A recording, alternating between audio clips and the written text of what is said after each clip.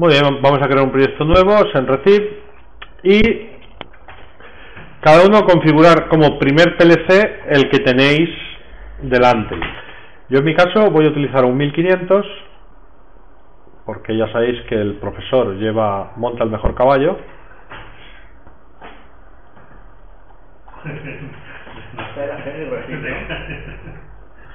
Lo cual causa hilaridad entre los alumnos, pero es cierto, vamos a ver, no, no va a ir. Si hay un 1500, lo normal es que lo configure el profesor. Ya os tocará, no, no sufráis. No nosotros no. Send y receive. Eh, vaya, pues lo quería poner sin especificar, pero me he equivocado. Bueno, pues ahí tengo la CPU. Acabo antes y lo elimino y, y e inserto uno en blanco porque acabo Entonces, de momento configuramos el nuestro. Sí, configura el vuestro. Y ya está. Y añadimos el otro sin tocar nada o. Y podéis ir añadiendo el otro, sí. Vale. Es que no sé ni qué dirección tiene, ni qué módulos tiene, así que este... Podemos un, pongo un 1500 sin, sin determinar ¿21? y que me lo busque. No, no, pero. Versión. Ah, vale. Una cosa muy importante, si usáis un 1500 tiene interruptor, con lo cual a veces eh, uno se los olvida apagados. Vale. Los creamos y los esperamos. Sí. Crear los dos porque aquí sí que hay que configurar dos, hay que cargarle programa a los dos PLCs. En, el, en uno hay que cargarle el SEN y en el otro hay que cargarle el receive. Pero también podemos establecer la conexión y todo ya. O... Sí, lo que pasa es que... Sí, sí, sí, en el proyecto establecer la, la conexión. Vale, yo ya tengo mi primer PLC que va a ser un 1500 y voy a agregar otro que va a ser un 1200. ¿Cómo? Versión 30, sí, versión 30, o sea, versión 30, modelo 30, versión 2.2. Y nuevamente le vamos a determinar que me lo busque. ¿Cómo? 166. Y el mío es el 162. Muy bien. IP, no, yo. Vale. Ahora nos vamos a la vista de redes y sí le podemos hacer ya la conexión. Y en principio, a partir de aquí, empezamos después del, del café. Bien, ahora lo que vamos a hacer es una eh, comunicación con recepción. Es decir, no es como antes que hacemos un put y un get, sino que le decimos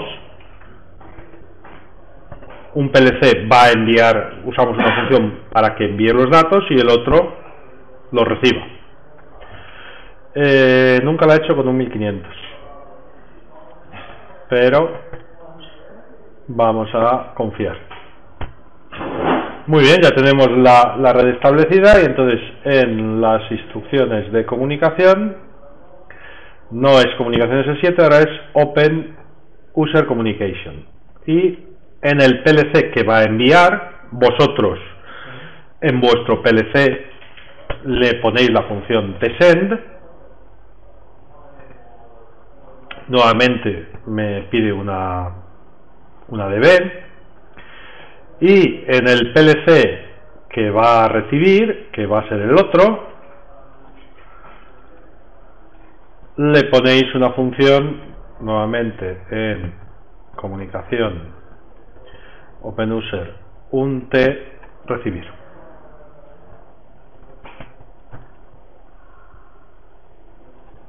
Aquí se utiliza una en un, en un PLC y la otra en el otro, ¿no? Ajá. Nuevamente vamos a usar como, como disparador el reloj de pulsos, entonces ir a la configuración del dispositivo en el, remoto. Vamos a hacerle las marcas de ciclo. ¿Dónde estás? ¿Dónde estás? Ahí está. Marcas de sistema, marcas de ciclo. Vale marcas de sistema, marcas de ciclo en los dos PLCs.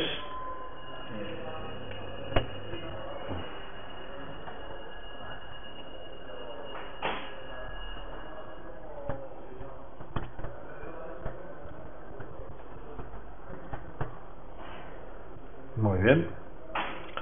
Y nuevamente lo único que tenemos que hacer eh, es configurar las DBs. Lo que pasa es que hay que hacerlo con, con un poco de cuidado. Vamos a ver. En el PLC que va a enviar,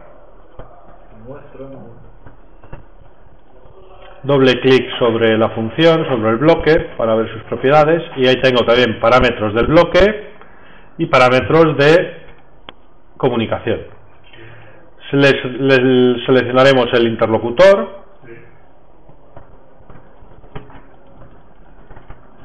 y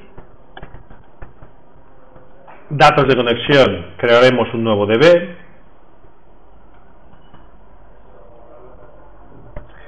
y le vamos a decir que el que envía va a ser el que va a establecer el eh, va a hacer el establecimiento activo de la conexión, es decir, es el que va a conectar, el que va a controlar el bus de comunicación. El que envía. Sí, pero después en el que recibe también le, le diremos que, el- que la comunicación la controla el otro. Entonces, en el maestro, aquí de momento no selecciono nada más porque veo que, que no tengo, no, no, podría generar otra DB, pero no lo hacemos, es decir, esto lo dejamos así y nos vamos al PLC que recibe. Entonces, en el PLC que recibe,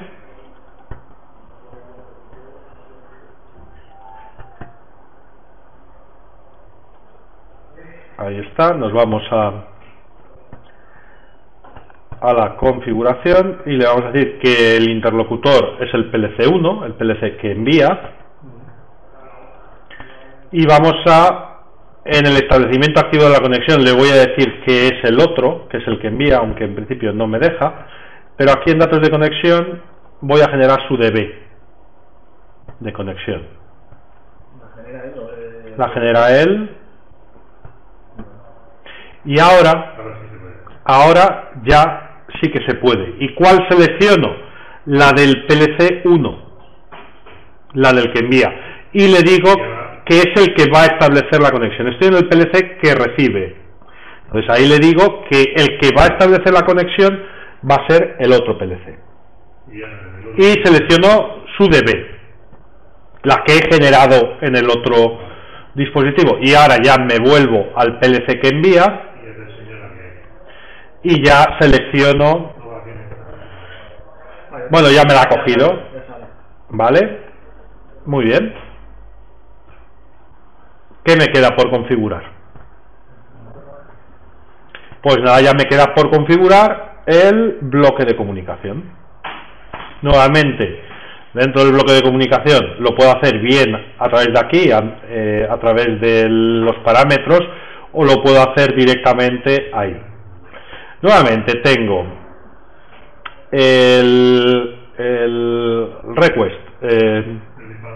Exactamente. Podría ser, pues en función de mi programa, cuando haya terminado un ciclo, que vaya a consultar datos, pero en este caso lo que vamos a hacer es directamente con la marca de ciclo para que cada 10 milisegundos o cada 100 milisegundos me lo vaya, es decir, con la M0.0.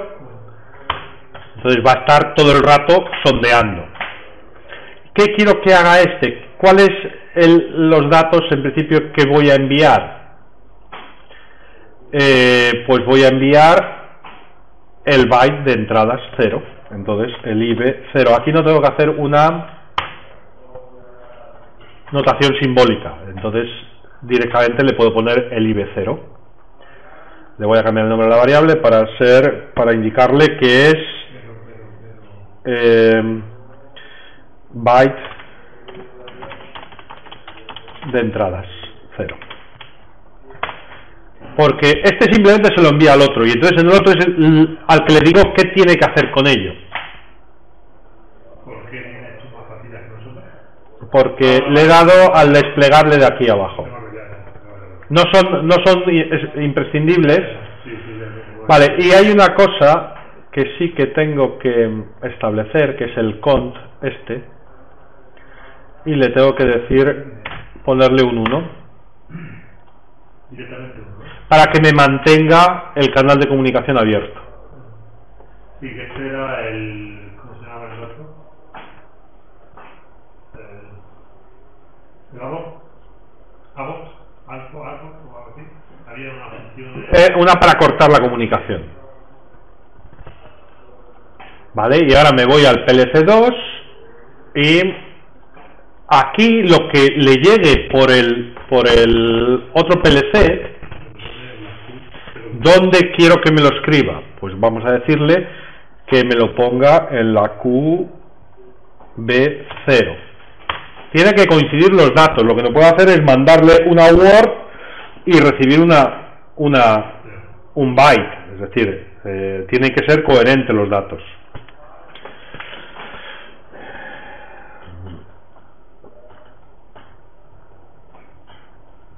Y nuevamente ahí en cont le vamos a establecer un 1 y aquí nuevamente también para el refresco de, de la información. Bueno, lo tenéis en principio, todo lo tenéis en el PDF está hecho con 2200 más o menos está hecho el paso a paso. El con podía poner un bit cualquiera. Podía activarlo con una, no, ese es o es forzado directamente. el pa- para que se mantenga la conexión activa Sí. No, es que, vamos a ver, esta instrucción, si nos vamos al árbol de instrucciones, veréis que, aparte del tsend, te recibe, el tmail eh, solo lo tienen las versiones 4, entonces en principio a vosotros no os aparecen, pero veis otras instrucciones, veis que hay un montón de otras instrucciones. ¿Qué sucede? El, el tsend lo que hace es, establece la conexión, envía los datos y controla la conexión. Si no, eso se puede hacer todo con instrucciones individuales, pero es mucho más coñazo. Es decir, estamos haciendo un ejemplo sencillo. Si no, podríamos eh, con una función establezco la conexión, otra función envío los datos y otro controlo los parámetros de la conexión. Entonces es mucho más simple utilizar esta función que integra, lo hace todo, por así decirlo. Y lo, lo que ahí, en- para, para mantener la comunicación, Hay que ponerle un 1 para que mantenga la, la comunicación abierta. Se le puede poner un bit de una entrada que yo active para que se mantenga. o- No, es o 0 o 1, o true o false. Vale. En un caso, cuando le lo, lo puedes hacer que sea variable en una marca. Entonces, cuando lo activas, eh, establece la conexión y cuando le mandas un 0, las desconectas. eso es. Sí, Pero ahí yo puedo poner, por ejemplo, una marca. M0, o sea, la marca que sea, y esa marca. Pues, Y esa marca, tú controlando esa marca, puedes hacer que establezca la, la conexión o la corte. En este caso, queremos que nos la mantenga siempre abierta, le ponemos un 1 y no lo cambiamos. Sí, eso. Vale, y lo mismo para la recepción, el en R, pues le vamos a poner el, la marca, esta, la M 0.0, el reloj de pulso es de, de 0,1 segundo para que lo esté sondeando continuamente. Bueno, entonces en principio yo le voy a hacer la carga al mío y vosotros primero le haréis la carga a uno, a los dos PLCs y después se le hará el otro para comprobar que en ambos casos está correcto. No carga. ¿Cargo? No, no me deja activar el carga. Cargamos primero uno. Guardo producto.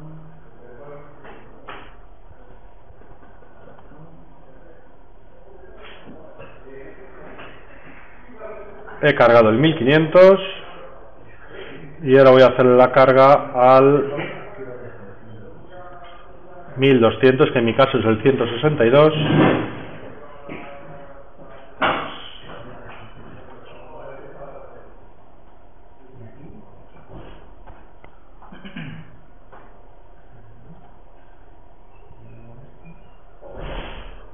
Y ahora al otro. Pero porque no lo tienes ahí. A ver, esta- esta- esta en el tuyo.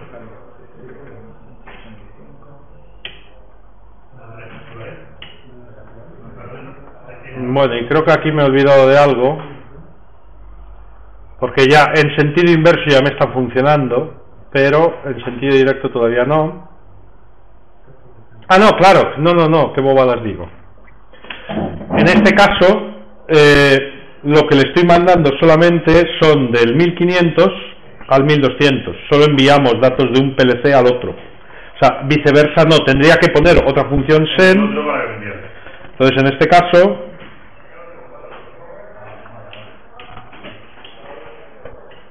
lo que tengo es que las entradas del 1500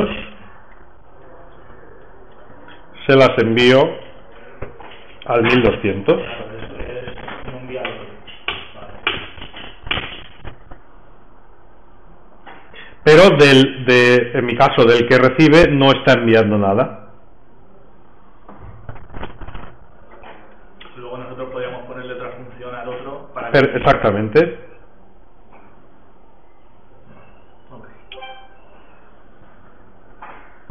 O podríais utilizar un put, por ejemplo, en la práctica que tendréis que hacer, tendréis que com- combinar un send receive con un put get y ya fusionamos ambas, ambos ejemplos en una sola práctica. Bien, vamos a, a complicarlo un poquito más y vamos a meter otro 1200 con... no, le voy a decir uno sin especificar y que me lo lea. Es la versión 3 de firmware y va a ser el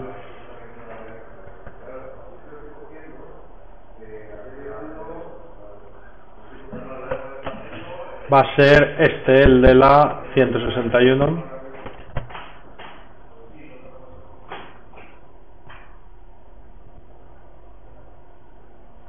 muy bien. Para vale ya me lo ha puesto como PLC3 y entonces lo que voy a hacer es directamente también desde mi PLC o podríamos hacer que del PLC2 que lo tengo que no uso sus entradas por ejemplo pues vamos a hacer que vayan al PLC3 vamos a ver. Vamos a ponerlo en, en red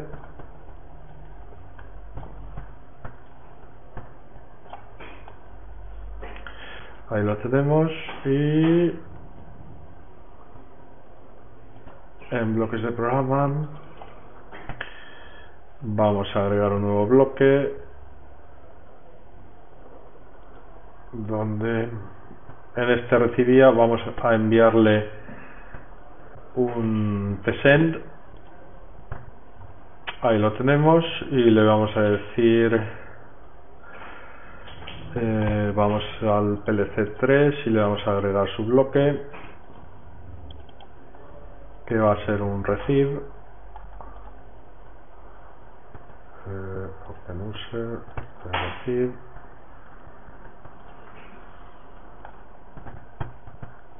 Vamos a configurar el bloque de recepción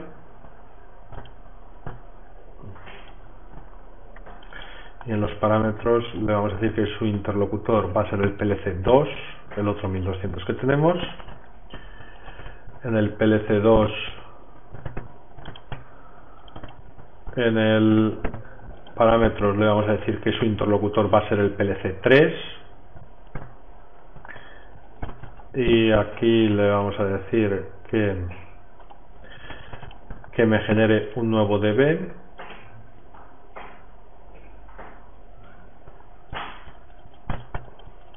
y vamos a decir que en este caso el PLC2 va a ser el que va a hacer el establecimiento activo de la conexión.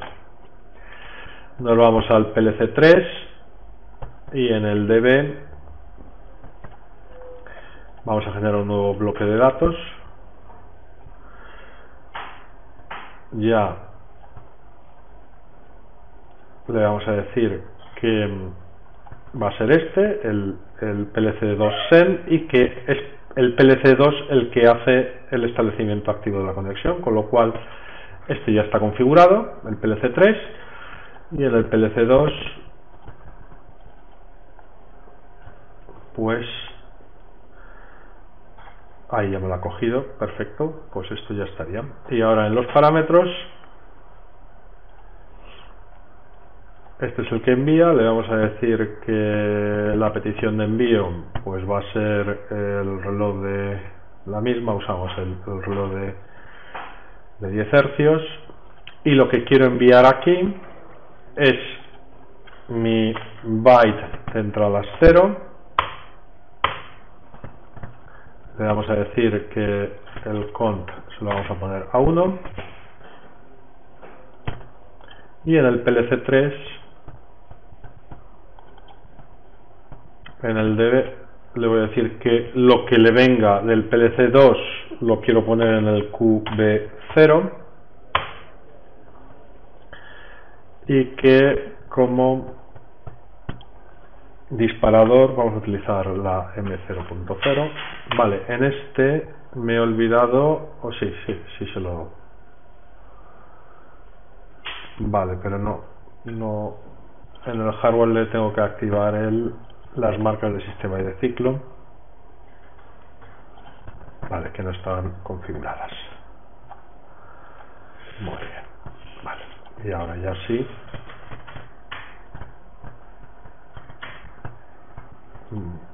Vale, quitamos la eso y la vamos a meter la M0.0 que es el reloj de 10 hercios. Y claro como como lo he metido antes me va a quedar una variable duplicada y voy a eliminar la que no quiero. Ahí está. Esta la vamos a eliminar. Borrar. Vale ya está todo correcto. Y lo único que me falta es bueno un segundo es m0.0 ahora, ahora correcto. Y le vamos a decir mantener comunicación en un 1 que me mantenga la comunicación. Pues en principio estaría, lo único que tengo que hacer, este como no lo he tocado, no tendría que volverlo a cargar, pero simplemente cargamos el PLC3 y el PLC2 porque le he metido una nueva función de enviar. de enviar. Ahí está, entonces recibe los datos que le envía el 1500 y y los refleja en su byte de salidas y también envía su byte de entradas al byte de salidas del otro 1200 bueno, pues nos vamos a dispositivos y redes vamos a cargar el PLC2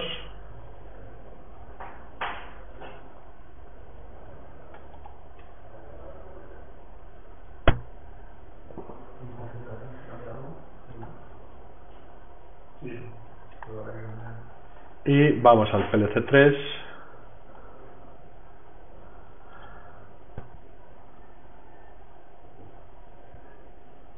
ahí lo tenemos, el de la dirección 161 y le hacemos la carga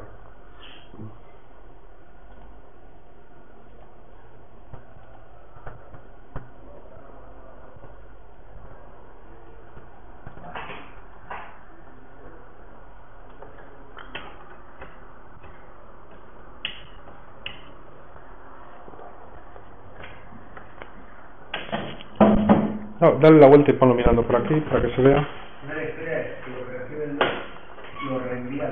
No, no, no, no, no es que lo reenvíe, son independientes. Pero ahora tal y como los tenemos, podríamos haberlo hecho, o sea, no, habría tampoco mayor problema en principio. Los de este, el byte de entradas de este se refleja en, en el byte de salidas de, de este y el byte de entradas de este se refleja en el de salidas de este otro.